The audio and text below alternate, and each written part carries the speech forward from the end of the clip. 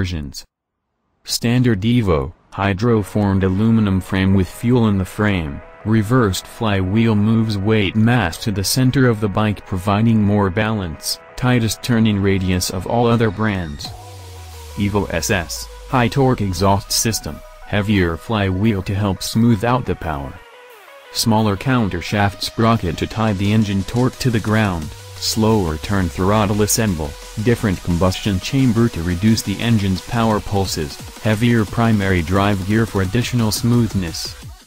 Evo Sport, designed for slow-speed trail riding, long-range seat slash tank for more longer, more comfortable rides, knobby tires provide better traction on the trail, hand guards for protection. 2017 Beta Evo 200 www.totalmotorcycle.com Features and benefits 2017 Beta Evo 200, North American specifications slash technical details US MSRP price, 7,199 US dollars.